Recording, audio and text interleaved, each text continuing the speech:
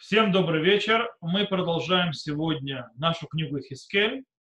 Мы перешли уже в 21 главе, и в принципе в 21 главе у нас есть, э, скажем так, собрание, собрание пророчеств, коротких пророчеств, э, в которой, скажем так, одна тема, которая, скажем, идет, пересекает их все эти маленькие пророчества, и эти, э, скажем, тема не что иное, как меч, который придет на Иерусалим.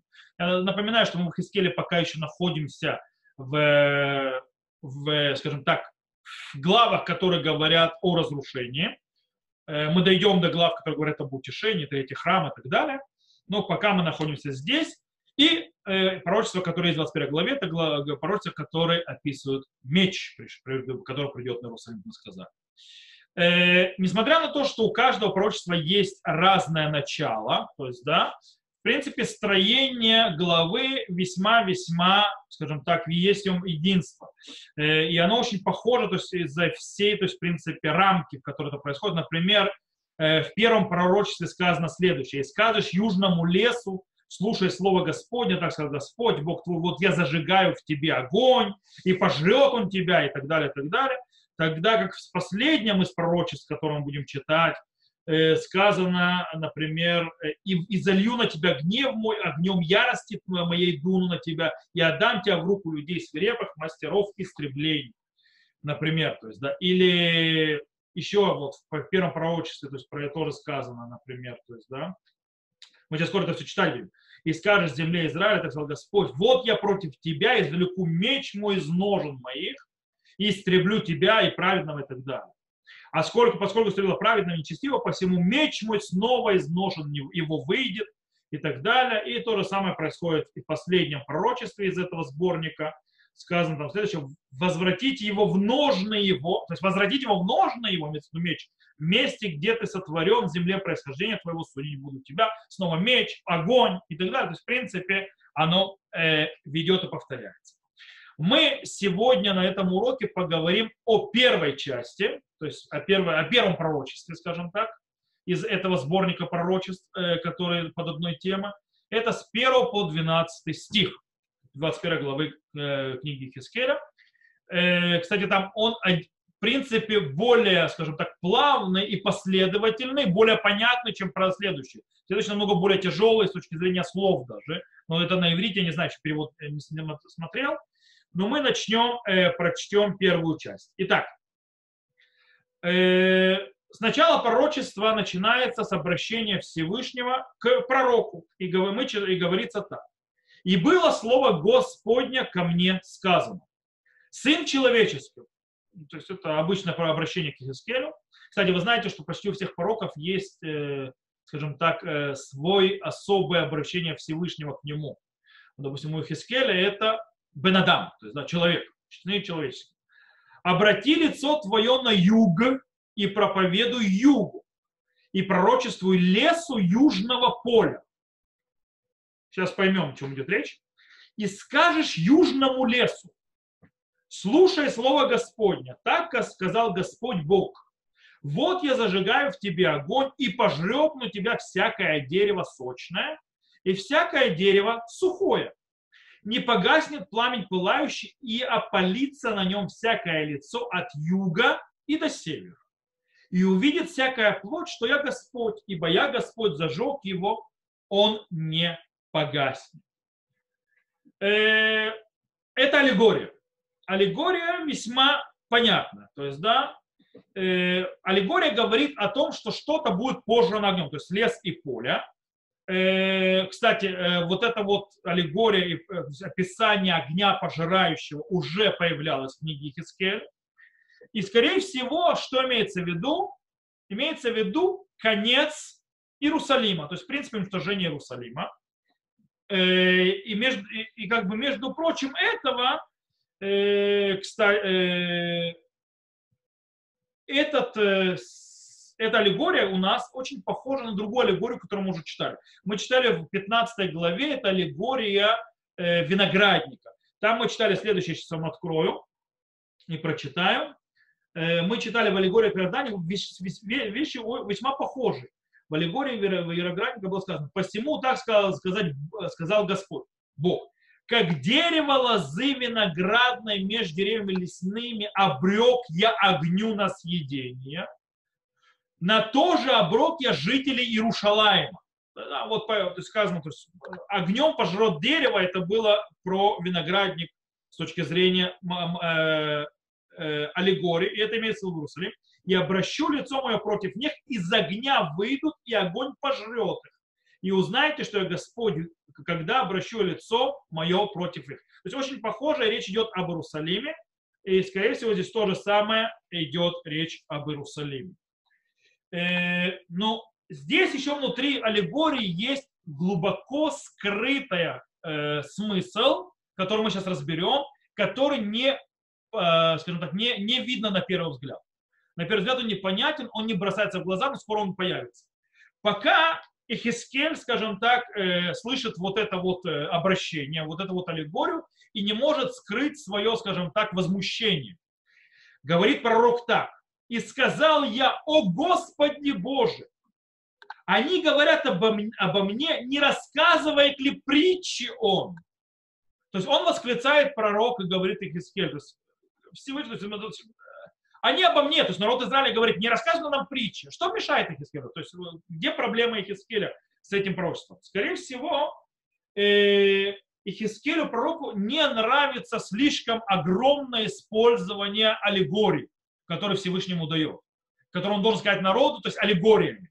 Дело в том, что Хискель уже получил и, по, э, и аллегорию про виноградник, которую мы упомянули, и аллегорию про де, женщину, девочку найденыша, которую мы разбирали очень хорошо в 16 главе, и аллегорию про орлов, это 17 глава, то есть глава за главой идут аллегории, э, а также аллегория львицы и львят, 19 глава, и так далее, и так далее. То есть, скорее всего, народ начинает уже смеяться над пророком, что он типа, а, ты нам сказки рассказываешь, притчи рассказываешь, прикольно. То есть, да, он смеется, поэтому Хискель может быть, хватит это. Может быть, э, проблема была у Хискеля с самими э, аллегориями, они достаточно понятны, о чем они говорят. Э, то есть, таким образом, они по-настоящему не передают ту идею, которую надо передать народу. Может быть, это проблема. А может быть, э, из-за того, что Всевышний слишком часто, с точки зрения пророка, используют э, аллегории для того, чтобы дать по мозгам, скажем так, народу, э, это теряет эффект. То есть, да, сколько можно пользоваться э, аллегориями? Это неэффективно уже.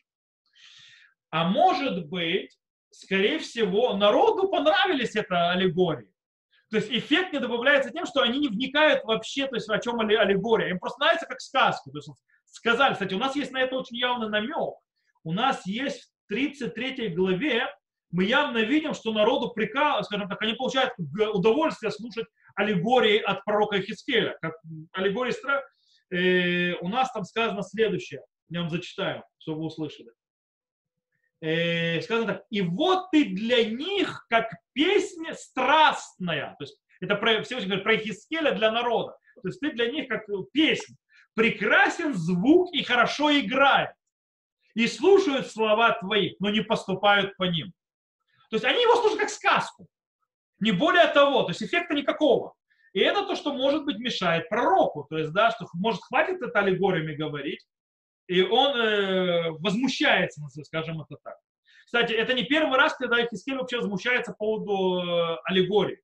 Он уже, один, он уже несколько раз возмущался, например, когда Всевышний сказал ему делать аллегорические, то есть аллегорные действия, то есть символические действия, и сказал э, ему приготовить э, скажем так, пирог из ячменя, приготовленный на углях человеческого навоза, то есть, да, человеческих испражнений, для того, чтобы показать презрение Всевышнего, то есть, да, к народу. И пророк возмутился от такого, ему Всевышний это поменял с человеческих на другое. И всегда, кстати, возмущение пророка, то есть э, там всегда происходит «Войомер от ага Ашем», то есть это ой, Господь, Господь Боже мой. То есть, да, у него всегда это восклицание, то есть он начинает возмущаться. Окей. Э, сейчас Всевышний, э, в принципе, говорит, э, сейчас мы то, что мы будем читать дальше, Всевышний берет и начинает ему рассказывать уже, скажем так, из аллегории, объяснять, о чем аллегория. Э, и таким образом, когда Всевышний начинает объяснять аллегорию, которую он до этого сказал, мы вдруг начинаем видеть то скрытое э, послание народу, то есть тот скрытые вещи, которые хотел Всевышний передать, э, раскрываются намного более мощно, и они проблематичны. Сейчас мы их увидим. И снова повторение теперь. И было слово Господня ко мне сказано. Сын человеческий, то есть теперь Всевышний начинает говорить с ним то же самое, только более понятно. Обрати лицо твое к Иерушалаему и проповедуй святым местам. Это написано Мигдашим. На, на, настоящем там написано э, в Итеф эль Мигдашим, то есть и обращайся к храмам. Вопрос, есть вопрос, каким храмом? Есть храм только один, который в Иерусалиме. Кому обращайся? Радак объясняет, что, скорее всего, имеется в виду первый храм и второй храм. То есть это пророчество о том, что будет... Э, мы помним, что Хискель живет в Вавилоне в конце эпохи первого храма. После того, что уже было изгнание, то есть, да, первичное, ну, Ходоносором, э, Ихония, то есть царя Ихонии, и сейчас, то есть, находится царь Циткияу. И, в принципе, храм еще стоит, но это уже конец храма. И пророк Ихискель прочит из Вавилона. Кстати, это объясняет, почему он говорит и обращается к югу. Потому что э, земля Израиля от Вавилона на юге. Итак, и Радак объясняет, что за храмы. Храм имеется в виду, что он прочит о первом храме и о втором храме. Есть такое объяснение. Э, по-настоящему, если посмотреть на, как сказано, Мигдашай, то есть, да, мои храмы, то э, по-настоящему в Писании, в Танахе эта фраза появляется очень часто мы это видим в книге Ваикра. Васимоти эт мигдашхем, то есть мигдашейхем, то есть да, в множественном числе. То есть да, и поставь в ваших храмах. То есть, когда говорят о храме, о Мигдаше, о Мешкане, иногда используют множественное число, то есть это не проблематичная фраза. Э, на русский язык перевели святые места, имеется в виду храм по-настоящему. Так вот, сын человеческий обратится в лицо к Иерушалаем, проповедует святым местам пророчество земле Израиля и скажешь земле Израиля, так сказал Господь, вот я против тебя, и извлеку меч мой из ножен его, и истреблю у тебя праведного и нечестивого. А поскольку истребил я праведного и нечестивого, посему меч мой снова из ножен не выйдет на всякую плоть, на народы от юга до севера и узнает всякая плоть, что я Господь, вынул меч мой из ножен его, не возвратится он более. Окей. Э, дело в том, что мы сразу видим, что э, объяснение аллегория написано с абсолютной параллелью с предыдущей аллегорией, которую мы читали. То есть Машаль и Нимшаль идут Бакбала, то есть они друг другу параллельны. Например, вот мы читаем, то есть, да, в, в, сын человеческий обрати лицо свое на югу, проведу югу пророчество лесу южного поля. То есть, да, южного поля. У нас же, когда идет объяснение Машаля Всевышним, сын человеческий обрати лицо твое к Рушалаем, проведу святым местам пророчество земле Израиля. То есть, в принципе, это явное, то есть почти те же слова, только меняя, то есть теперь вместо слова аллегории объясняется, о чем идет речь. То же самое происходит и в следующем, э, следующей части. То есть, да, Э, где в аллегории сказано э, вот так. И скажешь южному лесу, слушай слово Господь, так сказал Господь Бог, тебя сжигаю в тебя огонь, и пожрет он у тебя всякое дерево, сочное всякое дерево сухое, не погасит пламень пылающий, а палится в нем всякое лицо от юга до севера. Здесь же у нас написано, что и скажешь земле Израиля, так сказал Господь, вот я против тебя, извлеку меч мой из ножен мой, истреблю тебя праведного нечестивого. Вот здесь вы должны были обратить внимание на проблему. Проблему, которая ярко раскрывается, то есть что Всевышний имел в виду, и, и в аллегории она проблематична. Тот, кто не обратил, сейчас объясню. До внимания. Окей. Также у нас есть видно, что также э, параллельно сказанному и увидит всякая плоть, что я Господь, ибо я Бог зажег его, он не погаснет. Это, естественно, параллельно этому 10 стих, в котором сказано, э, и узнает всякая плоть, что я Господь, вынул меч мой из ножен, его не возвратится он более. Итак, у нас получается э, э, когда объясняется аллегория Всевыш... самим мы понимаем, что обращение на юг – это к Иерусалиму и храм. Как мы сказали, я уже объяснил это, что для жителей Вавилона, там, где находится Ихискель, Иерусалим и храм находятся в южном направлении. Кстати, из-за того, что э, аллегория занимается с огнем, что что-то палится, то понятно, что он использует как аллегорию, то есть э, аллегорическое понятие э, по отношению к Иерусалиму, храму в земле Израиля, но сравнивает это с полем из, из леса, в которых, скажем так, обычно сжигает огонь их и то есть, разбегает, то есть очень сильно бежит по ним, уничтожая все на своем пути. И это э, в этом смысл аллегории, то есть с полем и с э, лесом. Но есть у нас очень-очень-очень большая вещь, которая в середине аллегории, которая а, объясняется в э, объяснении Всевышней аллегории. Что у нас есть? Мы, Всевышний меняет аллегоричный огонь на то, что Всевышний по-настоящему сделал. Он меняет огонь на меч. В чем важно? Дело в том, что э, огонь не более чем аллегория. Таким образом, как это будет реализовано? Это будет реализовано мечом. То есть, ну, Хоносор придет с мечом. И что здесь происходит? Мы видим в аллегории, что огонь пожирает не только сухие деревья, но и деревья живые, то есть зеленые, которые, скажем так, сочные. То есть э, влажные деревья, которые не так уж легко сгорают. То есть им нужно, только сухое дерево хорошо горит, эти более тяжело горят. Э, но здесь нужно обратить внимание именно на меч. Огонь, он как бы слепой. Он идет и сжигает все на своем пути. Меч очень четкий. То есть, да, он бьет, он не может, он, скажем так, когда я бью мечом, это не значит, то есть, как огонь пошел, все на своем пути сжигает. Меч он точечный. То есть, да, погибнет тот, на кого я направляю меч. И тут есть очень интересная вещь. Кто такие эти деревья влажные, которые тяжело сгорают?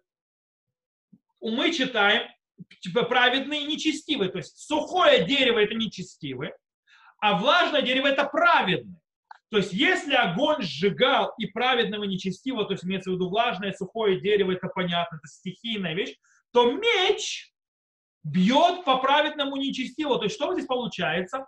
что Всевышний целенаправленно уничтожит не только нечестивых, но и праведников при разрушении храма, при разрушении Иерусалима. И здесь у нас появляется проблема. Меч ударит и праведников. Меч уничтожит и праведников. Не только нечестивых. Как так? Где справедливость? Дело в том, что э, это противоречит тому, что мы уже учили. То есть, да, как можно убить э, праведников? Э, мы уже учили, что э, во-первых, мы учили, что можно было сказать, а откуда праведники вообще в Иерусалиме перед разрушением первого храма? То есть, да, там, все такие злодеи и так далее. Но мы уже, когда учили 8, 9 главу, мы, когда там была э, аллегория про ангелов, когда он видит видение ангелов, которые люди, которые пройдутся по Иерусалиму и так далее, мы видели ангел, который, человек, который дает печати, то есть да, э, людям определенным, которые не будут тронуты. И это праведники, то есть мы там объяснили, что есть, есть праведники в Иерусалиме. То есть есть праздники, которые могут быть спастены этой печатью. Более того, в 18 главе мы учили, что Всевышний обещает и говорит, а нефеша хотав гитамут, бен лойса бавона, бав лойса бавона, бен цитката цадик, алав тие, что раша, алав тие. То есть мы учитаем, что э, э, только грешащая душа погибнет, сын не понесет греха отца, отец не понесет греха сына, э, праведность праведника будет ему, а э, злодеяние злодею и на нем будет. То есть, в принципе, каждый будет наказан по отдельности.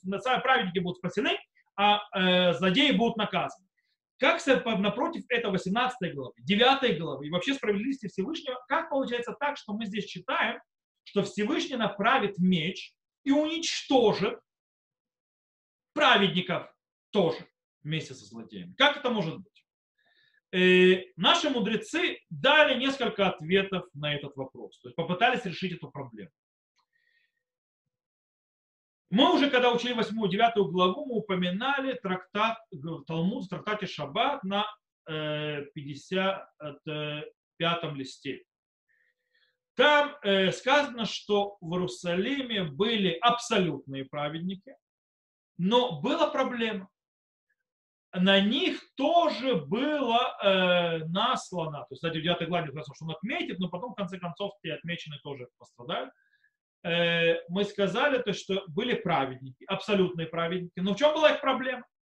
Проблема в том, что они видели злодеяние, могли остановить, могли выразить свое недовольство, и этого не сделали.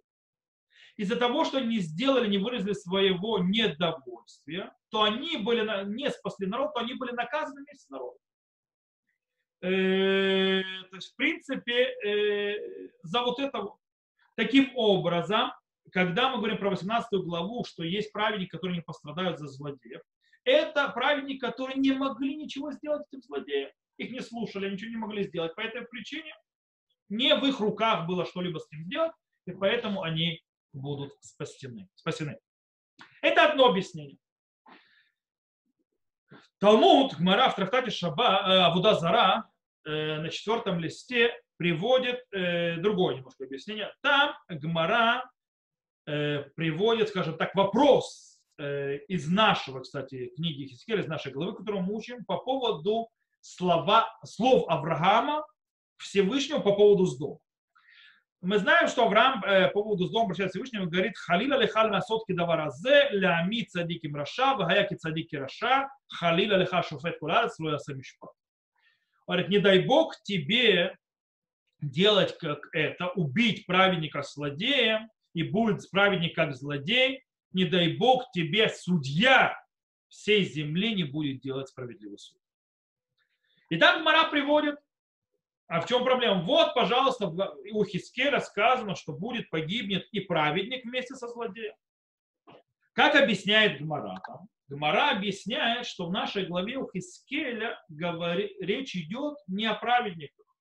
То есть как о праведниках, но не о просто праведниках. А не о, об абсолютных, то есть праведниках. То есть цадик шейно гамур. То есть есть абсолютные праведники. Эти не могут погибнуть со злодеями. А у нас, когда говорит Всевышний Хискелю, что он уничтожит праведникам мечом и так далее, речь идет о не полных, не абсолютных праведниках. В этом имеется в виду. Кстати, кто такие абсолютные праведники, кто знает? Абсолютный праведник – это человек, которого грех, э, грехов меньше, чем добродетелей. То есть его добродетели перевешивают грехи – это абсолютный праведник. То есть безгрешных, абсолютный праведник – это не безгрешный. Таких не бывает вообще не существует. Имеется в виду, кого э, добрые добродетели перевешивают его э, э, нехорошие вещи. Окей. То есть, в принципе, получается, абсолютные праведники не умрут за грехи злодеев. Да? Кроме того случая, если они могли остановить тех злодеев и не сделали этого, тогда они будут наказаны. Это второе объяснение. Третье объяснение приводит, можно, можно найти в трактате Бава Кама э, на 60-м листе. Там Гамара э, скажем так, говорит по поводу нашего сказанного, приведенного стиха в нашей главе в Хискеле по поводу того, праведников и злодеев, которые будут вместе уничтожены. Там сказано так, киван шнитан решут лимашхит ляшхит, ино мавхин бен цадиким ляршаим, вело ода лешиматхил мина цадиким тхила. То есть, да, когда в силе уничтожения дается право уничтожать, то он уже, эта сила не разрушает, не, разри, не различает между праведником и между э, злодеем. Более того, она начинает с праведников с начала. Есть те, которые объясняют это катастрофу. То есть э, там произошло, что Всевышний дал право силе уничтожения, то есть ангелам, которые связаны с силой уничтожения, уничтожать. И таким образом погибло много праведников, и даже иногда первыми. Дело в том, что кто-то не знает, немцы, немцы в начале, когда они еще не начали уничтожение, а только загоняли в гетто, они искали именно раввинов. Они искали раввинов, рэбы хасидских и так далее, чтобы их уничтожить. Э, у них была задача именно уничтожить их, первую очередь. Э, в этом был смысл, поэтому прятали рэбы и так далее, по причине того, что это было сломить дух еврейского народа, уничтожение и так далее. И вот интересно, то есть именно праведников первыми, кого хотели немцы уничтожить. Это почему, есть объясняют почему, потому что вот по этой гморе в Тратате Бабакама, что когда Всевышний дает разрешение, почему Всевышний дал разрешение э, силам уничтожения работать, это отдельный вопрос. Но когда они начинают работать, то они уже не различают между праведником и злодеем, и они в первую очередь, во-первых, бьют по праведнику, только потом по всем остальным. То есть тогда праведники, в принципе, вливаются в понятие всего народа. То есть народ должен быть побит по решению Всевышнего, по тому или иному, что иногда нам непостижимо. И тогда праведник становится как бы не отдельным целым, а частью народа, и удар идет по, по цельному, то есть по этой цельной системе. Э, это то, что у нас есть. Интересно, что сами стихи Танаха не занимаются напрямую разбором этого столкновения, то есть, да, с этой проблемой. Таким образом, невозможно через простое понимание стихов, сказанного в простом понимании, решить, какое из объяснений наших мудрецов более правильное или ближе к истине. Нету этого. Вместе с тем мы можем сказать э, точно, что в тех ответах, которые дали мудрецы, нет Э, скажем так, достаточно для того, чтобы объяснить это противоречие, которое стоит между нашей главой и главой девятой. То есть тут ответа нет как такового. Э, в главе 9, кто-то хочет повторить ее в книге Хискель, то, что мы уже учили, человек, который одет в особые эти одежды, это ангел, то есть, да, который видит видение Хискель, ему было поручено, чтобы он прошел и расставил печать, то есть, да, на людях, которые вздыхают и сокрушаются от тех злодеяний, которые делаются в Иерусалиме. То есть этих людей отметить печать. А все остальные люди, то есть, да, которые пришли на Иерусалим, снова это видение, то есть имеется в виду ангелы, должны пройти и уничтожить каждого, у кого нету этого печати. Таким образом, но там описывается именно та же ситуация, о которой мы говорим. Приходят силы уничтожения, и они четко разделяют в, в 9 главе между праведниками и между злодеями. То есть как бы праведники в сторону отходят, и удар идет по злодеям, тем, которые не отмечены этой печатью праведников. И снова поднимается вопрос. То есть, да, если в таком положении, которое мы описываем, праведники должны были спастись, то есть, да, то, э, то есть они должны были спастись, или они должны погибнуть с злодеями. Что должно происходить? Спастись, погибнуть, спастись, погибнуть. То есть определитесь уже, то есть, да, в пророчестве. И можно э, привести, не, скажем так, два направ, направления, как две возможных ответа на э, этот вопрос. То есть, да, праведники, да, будут уничтожены или не будут уничтожены вместе с злодеями. С одной стороны, можно сказать, что в 9 главе не сказано, э, что они, праведники, будут спасены полностью. То есть, да, что они физически будут спасены. Можно объяснить, что они будут признаны в этим знаком, то есть этого человека, ангелами, это ангел, э, что они праведны.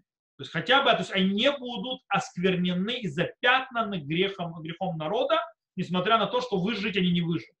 Они будут отмечены печатью ангела, что они не согрешили. Одно, так можно ответить. С другой стороны, можно и по-другому.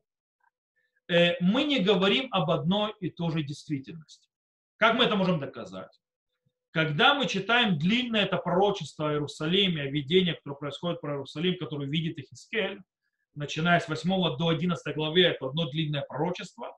Там сказано «Бешана хашиши, бешиши, бехамиша леходыш». То есть, да, в шестой год, шестой месяц э, пятого дня.